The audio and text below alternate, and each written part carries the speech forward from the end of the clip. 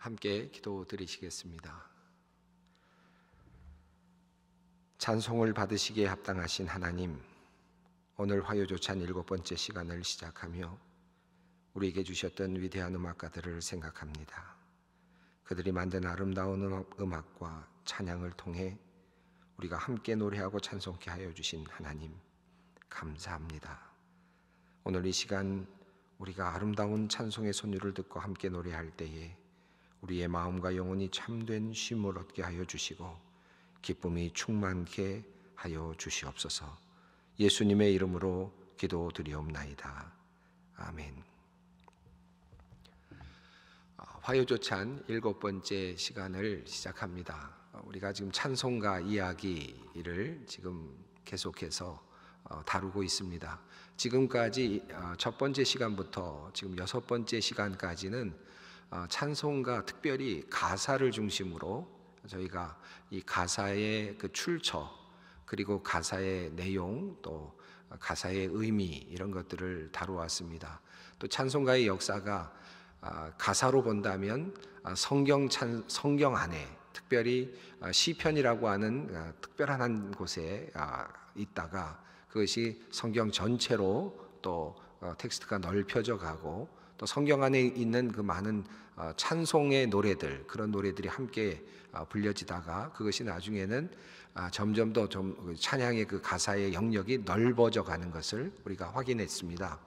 아, 오늘은 조금 쉬어가는 의미도 있고요. 또 한편으로는 흥미로운 그런 아, 그 주제를 한번 다루려고 하는데 가사로 보는 찬송이라기보다는 오늘은 선율 아, 노래의 선율에 좀 관심을 가지고 함께 한번 생각해 보겠습니다.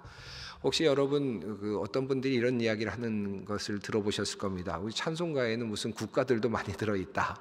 어, 각 유럽의 국가들도 많이 들어 있다. 뭐 이런 이야기들을 들으셨을 거예요. 어, 찬송가 안에는 많은 그 클래식 그 작곡가들의 노래들이 있습니다. 과거에 많은 위대한 그 작곡가들이 지은 노래들이 있는데 이 노래들이 선율들이 찬송가에 들어와 있는 그런 아, 경우들이 꽤 있습니다. 가사와는 별개로 이 선율을 중심으로 해서 오늘 좀 함께 아, 공부를 하려고 합니다. 첫 번째로 우리가 생각해 보려고 하는 선율은 위대한 음악가 중에 한 사람이지만 이죠. 아, 그 사람은 바로 어, 요한 세바스찬 바하입니다. 우리 바하는 독일의 아주 굉장히 중요한 특히 교회 음악에서는 매우 중요한 역할을 하고 있는 아, 그런 분입니다. 아, 루터교 신자로서 음악에 아주 능통했고 그리고 아주 전통적인 교회 안에서 루터교 교회 안에서 오랜 시간 동안 어, 신앙생활을 하면서 많은 음악을 만들어낸 특히 특별히 교회 음악에 관련해서는 아주 상당한 많은 양의 음악을 만들어낸 그런 분이라고 할 수 있겠습니다. 이 바흐가 그렇게 어, 교회 음악을 많이 만들어낼 수 있게 된 이유는 그 성 토마스 교회라고 하는 교회에서 그가 칸토로 그러니까 교회 음악 감독이죠. 당시에 그 교회 안에서 음악을 감독하는 그런 역할을 맡아서 오랫동안 이제 사역을 하게 되었는데 그가 매 주일마다 그 매주일마다 성서 정과라고 해서 아, 교회에서는 이제 성경을 읽고 해석하고 또 말씀을 나누는 그런 성서 정과가 있습니다. 매 주일마다 있는 성경 구절을 가지고 그 말씀을 묵상하고 또 어, 연구하고 주의한 후에 그 말씀을 가사로 해서 매주일마다 노래를 만들어 부르는 그런 일을 했습니다. 그러니까 정말 상상하기 어려운 아, 그런 작업을 했는데 그 많은 작업들 중에 많은 것들이 지금도 남아 있고요. 또 특별히 그 와중에도 특별한 절기 때에 아, 그가 만든 그 칸타타들이 지금까지 많이 남아 있습니다. 그래서 순환과 관련된 또는 뭐 크리스마스와 관련된 이런 여러 가지 그 칸타타들이 또한 있죠. 이 바하의 음악은 그런데 참 재미있게도 어, 다양한 그 이렇게 많은 음악을 지어서 그랬는지 그는 어, 다양한 음악의 그 어떤 선율들을 다른 사람의 것들도 많이 가져다가 아, 그 안에서 넣어서 사용하기도 했습니다. 뭐 대표적인 것이 어, 루터가 만든 그 내주는 강한 성이요라고 하는 노래 이 선율도 아, 그가 만든 칸타타 안에 들어가 있기도 합니다.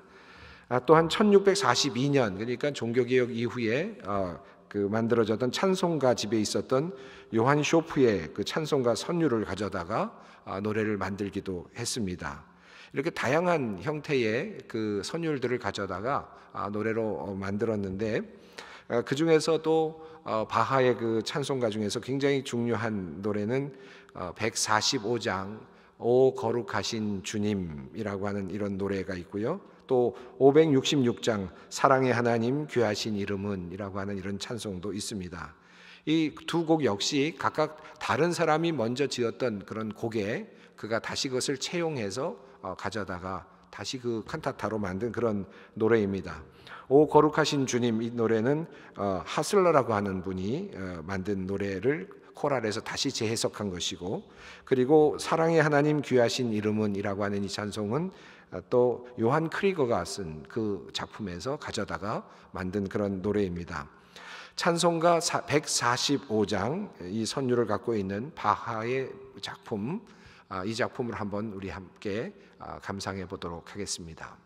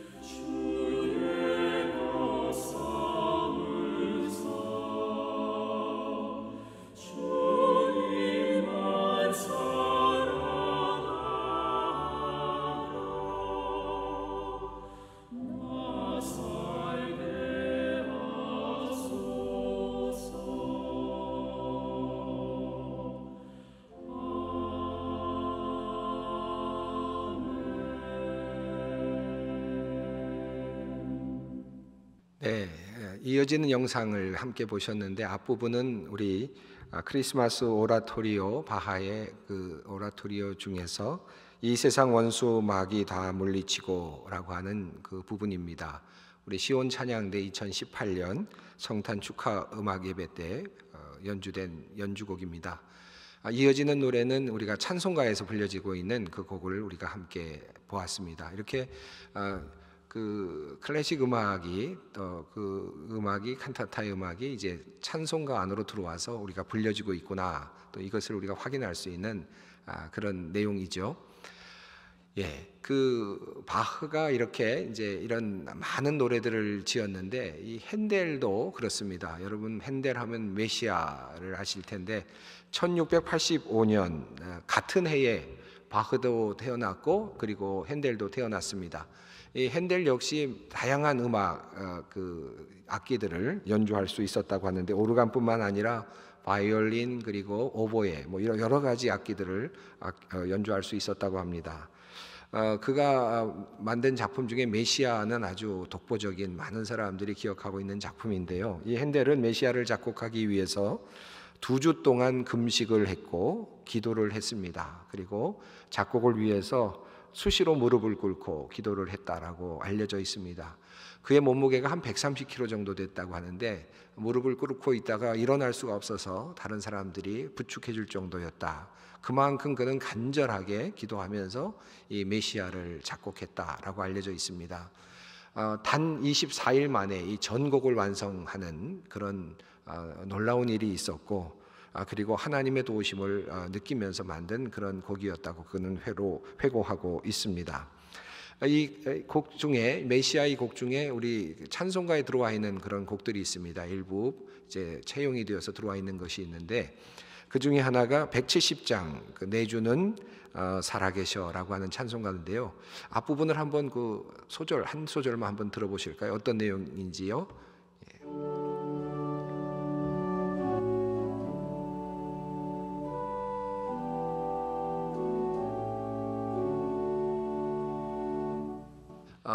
예, 이 곡과 더불어서 우리가 함께 하나 더 들으려고 하는 것이 있는데 어, 그 핸델이 쓴 어, 남긴 오라토리오 중에 민족 이스라엘 민족의 영웅인 유다 마카비의 일대를 다룬 그런 유다 마카베, 마카베우스라고 하는 그런 곡이 있습니다.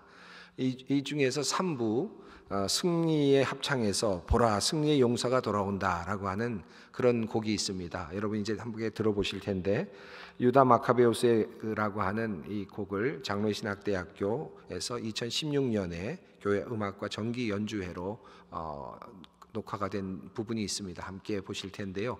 이 노래 이 부분을 들으시면 어떤 찬송가인지 한번 여러분 한번 맞춰 보시면 좋겠습니다. 한번 들어보시죠.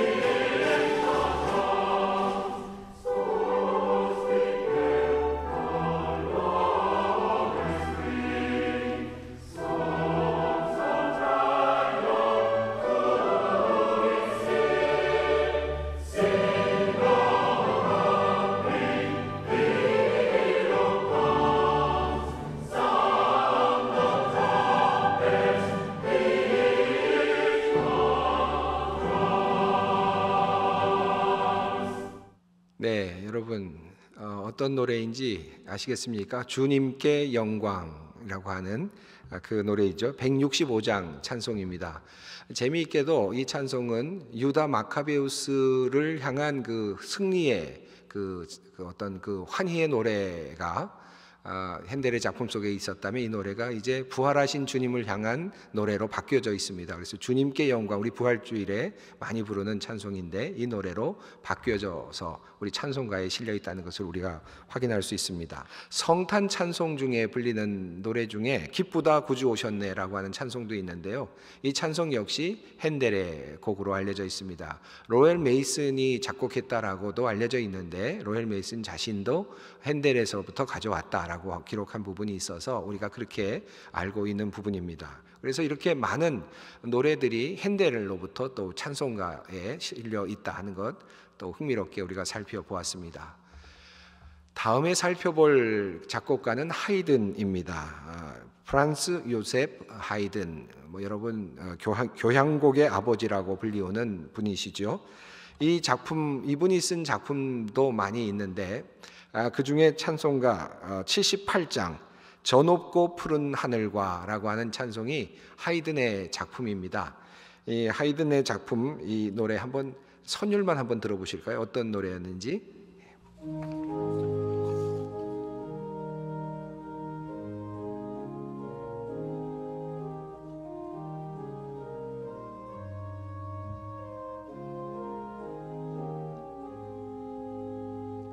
예. 이 곡은 하이든의 천지창조에 나오는 합창곡 중 하나입니다. 하이든은 1808년 천지창조가 연주된 다음에 청중들이 그에게 박수와 환호를 보냈을 때 이 작품은 나에게서 온 것이 아니라 하나님께로부터 왔습니다 라고 그렇게 어, 고백했다고 전해집니다. 어, 이만큼 아주 멋진 작품이 나왔는데 하이든의 또 다른 작품이 있는데 어, 오늘 여러분과 함께 여러분에게 소개할 찬송가는 바로 210장 시온성과 같은 교회입니다. 이 하이든의 이 현악 사중주 작품 번호 62번 이 곡은 황제라고 하는 곡으로 알려져 있는데요.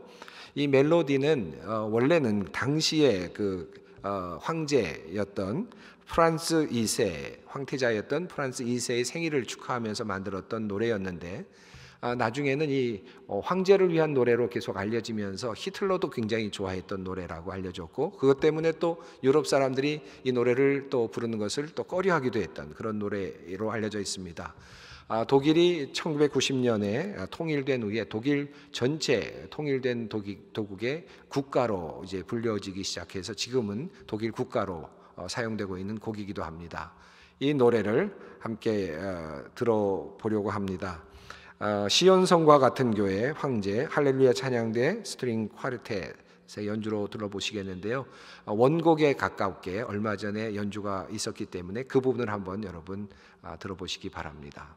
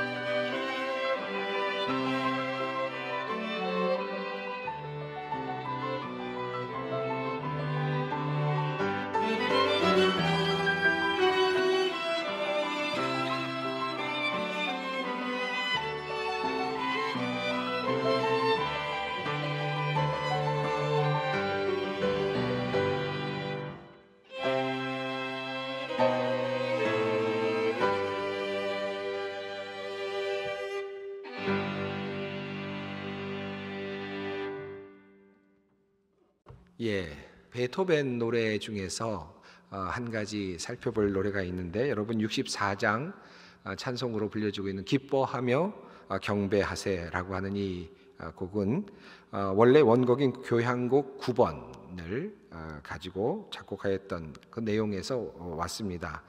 그 당시 베토벤은 이 곡을 지을 때 이미 청력을 잃어버린 상태였다고 하는데 아, 그럼에도 불구하고 고뇌를 통하여서 환희에 도달한다 라고 하는 어, 두르흐 라이덴 프로이데라고 하는 이 곡을 쓰게 됩니다.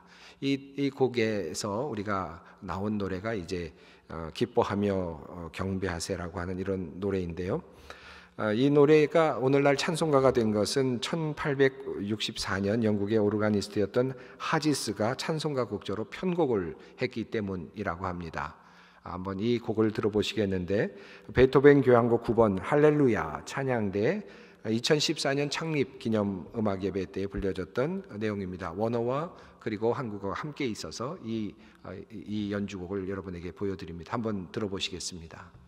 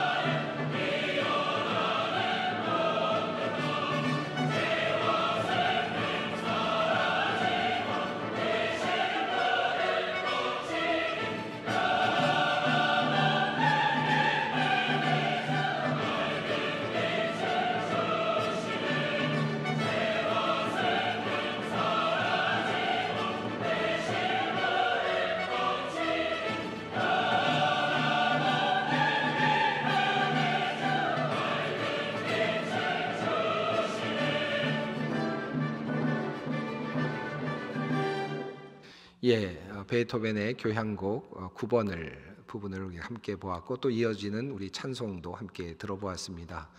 아, 이렇게 고전 시대를 지나고 이제 낭만 시대로 들어서면서 마리아 칼 마리아 폰 베버라고 하는 분이 아, 쓴 곡이 있는데요.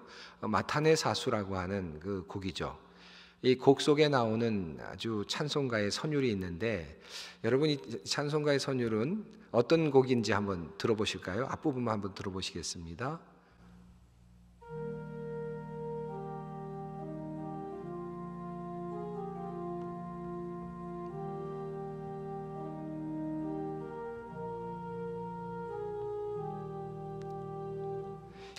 이 곡은 어, 그 내용 가사는 또 아주 여러 스토리가 있는 내용이죠. 슈몰크 목사님, 루터교 목사님이었던 이 슈몰크 목사님이 두 아들을 화재로 다 잃은 다음에 모든 것을 잃은 상황 속에서 하나님께 고백하며 불렀던 노래로 알려져 있습니다. 가사는 또 이런 깊은 슬픈 스토리가 있죠. 내 주여 뜻대로 행하시옵소서. 여러분 이 노래 우리 마탄의 사수의 곡과 그리고 가사로서 이어지는 우리 찬송과 함께 이렇게 연결해서 보시면 또 의미 있는 그런 어, 경험이 되실 것 같습니다.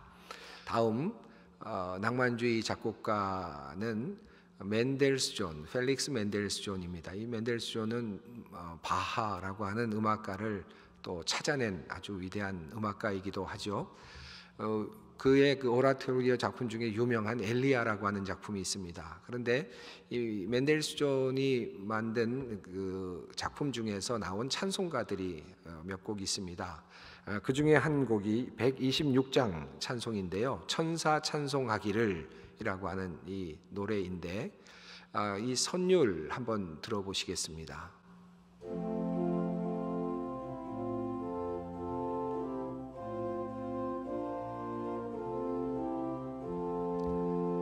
예, 이 찬송은 어, 멘델스존의 작품 축제 노래의 작품 속에 들어 있는 어, 그 내용이고요.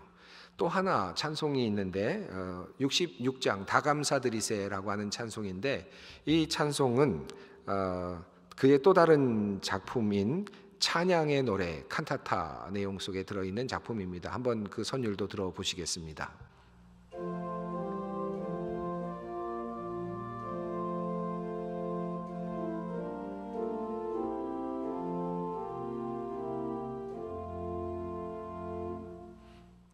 예, 어, 그러니까 굉장히 많은 찬송가들이 이 위대한 음악가들로부터 왔구나 하는 것을 우리가 확인할 수 있는데요. 이 외에도 상당히 많은 음악들이 찬송가에 아, 실려 있습니다. 특별히 이제 마지막으로 함께 살려, 살펴보려고 하는 찬송가는 어, 그 찬송가 329장 주날 불러 이루소서라고 하는 이 찬송가인데 우리가 부르는 것과 좀 완전히 다른 느낌이 아마 들으실지 모르겠습니다. 이 노래는 이 곡은 알렉산더 로베르트 알렉산더 슈만이 어, 녹턴이라고 해서 이 어, 야상곡이라고 하죠.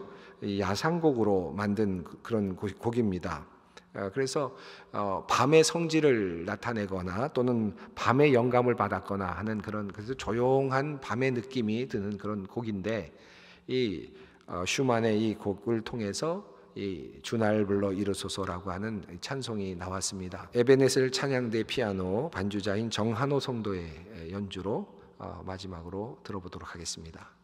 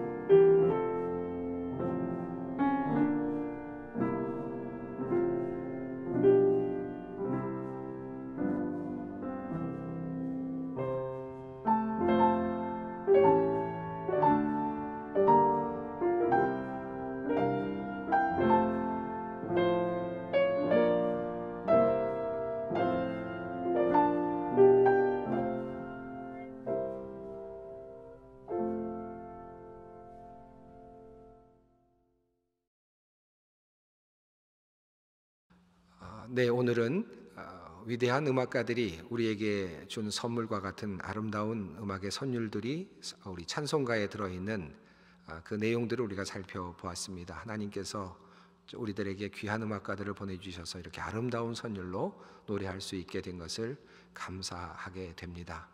오늘 한- 어, 오늘 어, 화요조차는 이렇게 일곱 번째 시간은 우리 클래식 음악가들을 통해서 우리에게 주어진 찬송가 함께 살펴보았습니다. 아, 다음 시간에는 우리 한국 찬송가에 대해서 함께 배우도록 하겠습니다. 함께 기도하겠습니다.